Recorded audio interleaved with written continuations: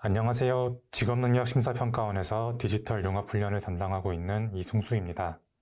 2022년도 디지털 융합훈련 심사설명회를 동영상 업로드로 진행하게 되었습니다.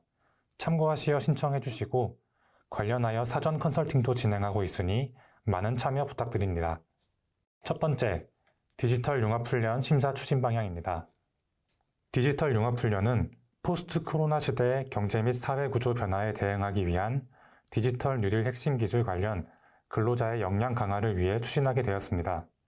시공간의 제약 없이 훈련이 가능한 원격 훈련의 강점을 살려 재직자의 디지털 융합 기술 역량 개발을 지원할 계획이며 전년도까지 운영했던 신기술 수시 심사를 디지털 융합 훈련으로 일원화하여 산업 현장이 필요로 하는 훈련을 적시에 공급하는 것을 목표로 하고 있습니다. 선정 대상은 기초 소양에 해당하는 입문과정과 직무 능력 향상 과정으로 구분됩니다. 입문 과정의 경우 모든 근로자를 대상으로 디지털 신기술에 대한 기초 이론을 학습하는 과정이며 직무 능력 향상 과정은 관련 직무에 종사하는 근로자를 대상으로 해당 직무 능력의 향상이나 현업 적용을 목표로 하는 훈련을 말합니다. 훈련 시간은 입문과 향상 구분 없이 최소 4시간 이상으로 편성해야 하며 훈련 방법은 인터넷 훈련만 가능합니다.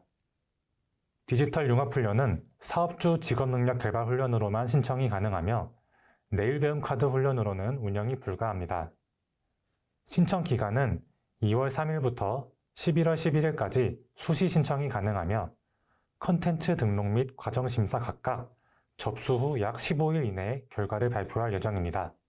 심사 신청은 원격 훈련 심사 시스템 홈페이지에서 온라인으로 신청 가능하며 상세한 신청 방법은 홈페이지 공지사항에 신청 가이드를 참고해 주시기 바랍니다. 작년 심사 대비 주요 변경 사항을 설명드리겠습니다. 사업주 훈련 지원 규정 개편에 따라 입문이나 직무 능력 향상 구분에 상관없이 최소 훈련 시간이 4시간으로 변경되었습니다. 또한 원격 훈련 심사 제도 변경에 따라 디지털 융합 훈련도 콘텐츠를 먼저 등록하고 과정심사를 신청하는 형태로 변경되었습니다. 콘텐츠 등록은 소유권을 가진 개발사 또는 기관에서 신청하고 과정심사는 훈련을 운영하려는 기관에서 신청합니다. 기존의 디지털 융합 훈련으로 승인받은 과정의 경우에도 신규 과정으로 신청하려면 콘텐츠 등록을 완료해야 합니다. 그리고 내용 연계성 심사 기준이 추가되었습니다. 여러 분야를 하나의 과정으로 편성한 경우 각 분야 간의 연계성을 심사합니다. 예를 들어서 하나의 콘텐츠에 VR, 블록체인, 무인이동체와 같이 여러 분야가 편성이 되어 있는 경우 각 분야 간의 연계성을 제시해야 하며 적절하지 않다고 판단되는 경우에는 디지털 융합훈련으로 운영할 수 없습니다. 디지털 융합훈련 심사기준 안내입니다. 앞서 설명드린 바와 같이 디지털 융합훈련은 콘텐츠 등록 후 과정심사를 거쳐 최종 선정할 예정입니다. 콘텐츠 등록에서는 내용 연계성과 콘텐츠의 적정성을 심사하며 과정 심사에서는 훈련 기간의 신청 자격, 훈련 계획 및 훈련 운영 역량 등을 심사합니다. 과정 심사에서 적합 판정된 과정은 전문가로 구성된 심의위원회를 통해 최종 선정 과정을 확정합니다. 단계별 심사 내용을 설명드리겠습니다. 1단계 콘텐츠 등록 시에는 우선 디지털 융합 훈련 해당 여부, 훈련 유형 및 콘텐츠의 적정성, 그리고 콘텐츠 내용 간의 연계성을 심사합니다.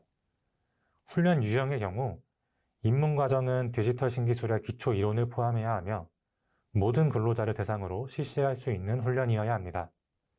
직무 능력 향상 과정은 해당 직무에 종사하는 근로자를 대상으로 해야 하며 이에 따라 현업에 적용 가능한지 여부와 스마트 훈련 구분에 따라 실습형 플랫폼 활용 여부를 검토할 계획입니다. 2단계 과정 심사 시에는 신청한 기관의 신청 자격, 그리고 훈련 계획 및 훈련 운영 역량을 심사합니다. 공고일 기준으로 고용노동부 정부 지원 훈련에 참여하고 있는 기관은 준법성 항목을 제외한 신청 자격 심사가 면제됩니다. 신청 자격은 아래 요건에 해당하는 기관으로 한 가지 요건만 충족해도 신청이 가능합니다. 첫 번째, 근로자 직업능력개발법 시행령 제12조, 제17조, 제22조 따른 시설. 또는 훈련 기간 중 기관 인증 평가 1년 인증 이상 등급 보유 기관. 두 번째, 고등교육법 제2조 제1호, 제2호, 제4호에 따른 일반 대학, 산업대학, 전문대학 중 2022학년도 정부 재정 지원 가능 대학.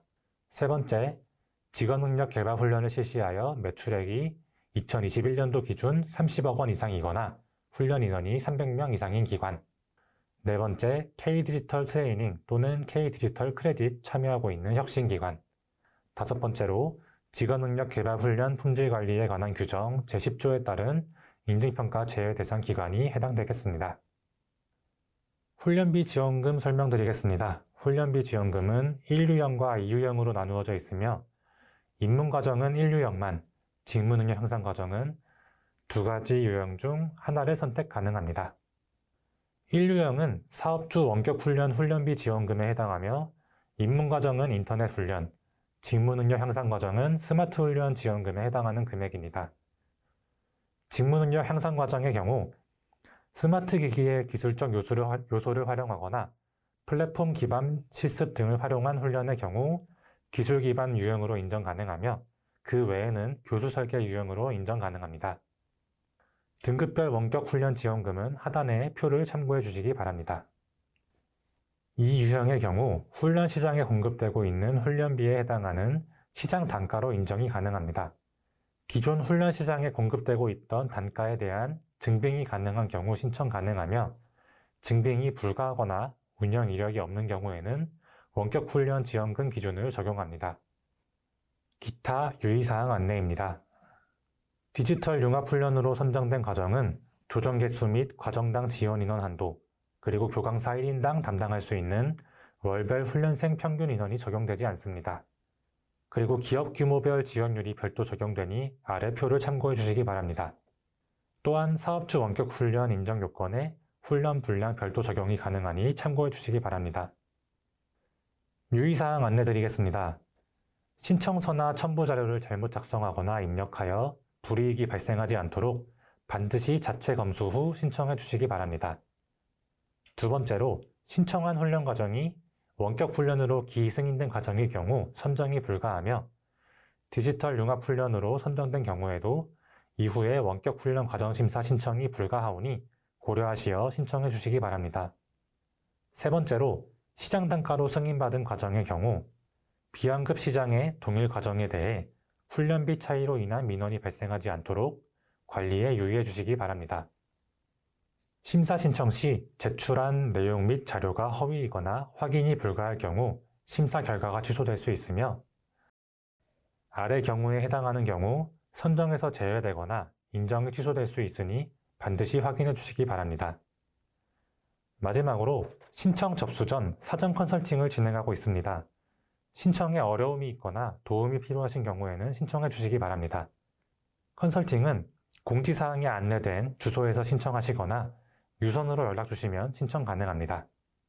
이상으로 심사 설명을 마치겠습니다.